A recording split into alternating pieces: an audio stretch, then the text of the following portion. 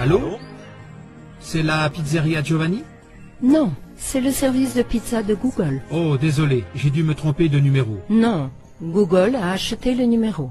Ok. Alors, euh, j'aimerais bien... Vous voulez comme d'habitude Comme d'habitude?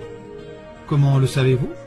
D'après nos dossiers des 12 derniers appels, vous avez commandé une pizza avec du fromage, de la saucisse et une croûte épaisse. Ok. C'est exactement ce que je veux. Puis-je vous suggérer de commander cette fois-ci une pizza à la ricotta, à la roquette et aux tomates séchées? Non, je déteste les légumes. Mais votre cholestérol n'est pas bon. Comment pouvez-vous le savoir? D'après votre profil de santé, nous avons les résultats de vos analyses sanguines des sept dernières années. D'accord, mais je ne veux pas de cette pizza. J'ai déjà pris mes médicaments. Vous n'avez pas pris votre médicament régulièrement. Il y a quatre mois, vous avez acheté en ligne une boîte de 30 comprimés à la pharmacie Sunstore de vente par correspondance. Je l'ai acheté dans une autre pharmacie.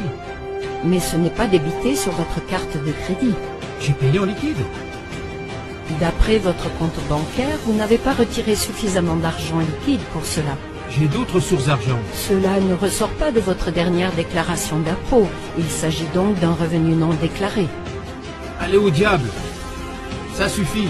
J'en ai assez de Google, Facebook, Twitter, WhatsApp et consorts. Je vais aller sur une île sans Internet, sans téléphone, et où personne ne peut m'espionner.